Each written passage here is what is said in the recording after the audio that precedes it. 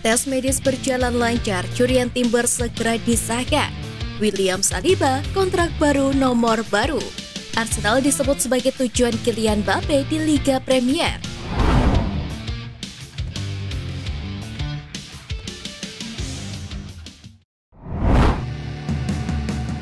Tak cukup dapatkan pemain incaran, Arsenal masih berburu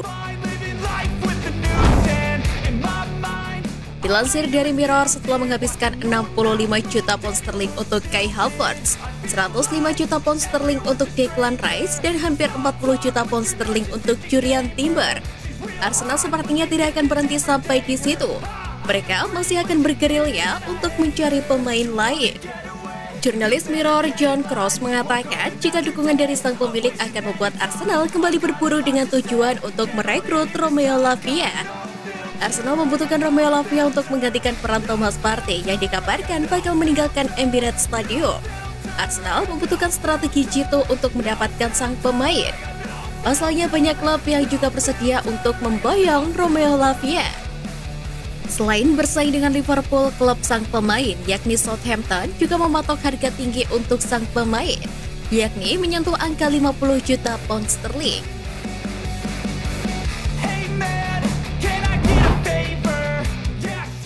Pagelaran transfer Arsenal dapat pujian. Arsenal sangat sibuk di bursa transfer musim panas 2023 ini. The Gunners ingin meningkatkan kekuatan squad untuk mengarungi musim depan.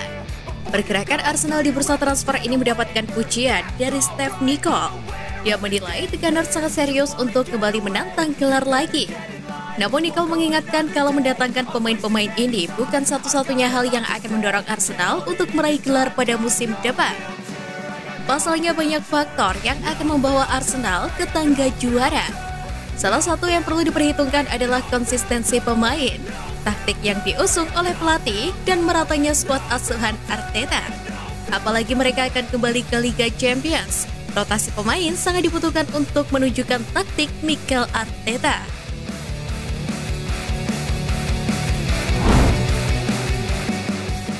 Tes medis berjalan lancar, curian Timber segera disahkan. Arsenal dikabarkan akan segera mengumumkan rekrutan baru mereka setelah Julian Timber melakukan tes medis bersama dengan Declan Rice pada Jumat kemarin. Menurut informasi yang didapatkan oleh Fabrizio Romano, proses tes medis berjalan lancar. Tidak ada kendala yang berarti sehingga Timber bisa segera diperkenalkan sebagai pemain baru Arsenal.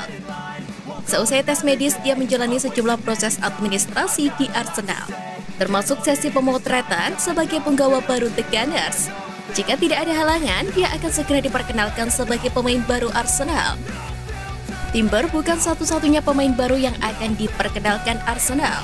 Pasalnya, dalam waktu yang bersamaan Arsenal juga menuntaskan proses transfer dari Declan Rice dari West Ham United.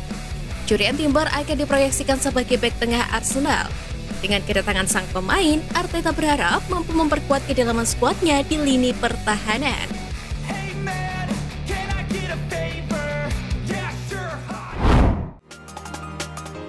William Saliba kontrak baru nomor baru.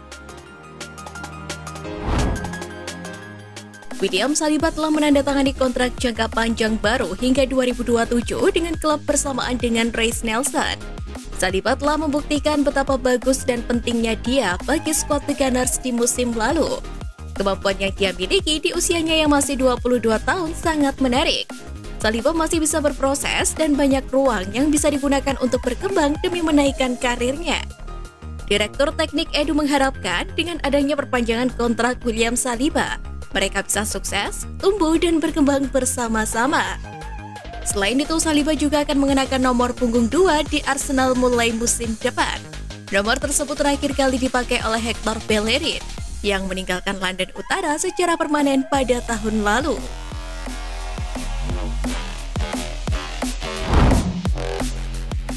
Arsenal memiliki dua slot pemain termahal di Liga Inggris.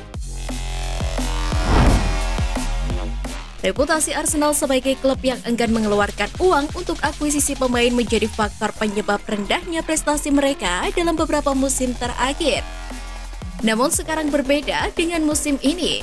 Arsenal memberikan rasa optimisme bagi para penggemarnya dengan membuat rekrutan penting dan menjadi klub yang memecahkan rekor pemain Inggris termahal. Dilansir dari 90 Minutes, Arsenal baru-baru ini mengakuisisi Declan Rice dengan biaya sebesar 105 juta pound sterling. Transfer itu sekaligus menjadikannya sebagai pemain Inggris termahal dalam sejarah. Selain itu, pengeluaran Arsenal sebelumnya juga masuk dalam 10 pembelian termahal di Premier League yakni sebesar 50 juta pound sterling untuk mendatangkan Ben White pada dua musim lalu. Oleh sebab itu, Declan Rice menempati posisi pertama dan Ben White di posisi ketujuh pemain termahal di Premier League.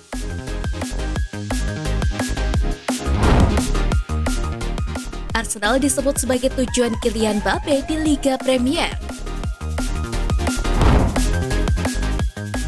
Masa depan Kylian Mbappe tidak pasti dengan Paris Saint-Germain karena kontraknya akan berakhir musim panas mendatang. Kapten klub Prancis tersebut telah memberitahu klub bahwa dia tidak akan memperbarui kontraknya dan Arsenal dilaporkan sebagai tujuan Kylian Mbappe jika dia memutuskan untuk pindah ke Liga Premier. The Independent melaporkan bahwa Arsenal akan menjadi tujuan pilihan Mbappe jika dia memutuskan pindah ke Liga Premier karena terkesan dengan proyek Mikel Arteta di Emirates. Sebelum itu, koneksi kuat antara Arsenal dengan klub Prancis era Arsene Wenger juga menjadikan The sebagai tujuan yang menarik. Meskipun tawaran dari London Utara tidak realistis, mengingat mereka telah investasi besar pada musim panas ini.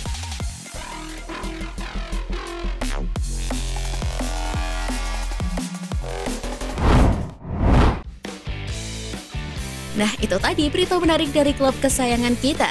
Simak terus berita update lainnya dari Gunner Space. See you Gunners!